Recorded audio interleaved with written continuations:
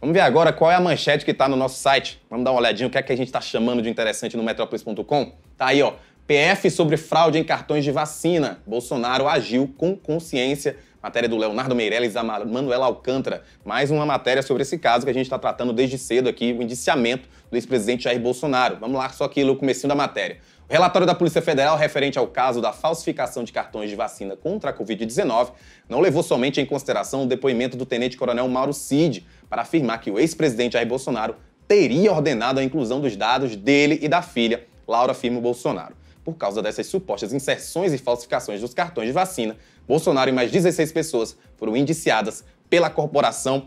Então, como eu estou falando, esse caso está sendo né, tratado aqui com total importância pelo metrópolis.com. Você tem várias matérias sobre esse assunto.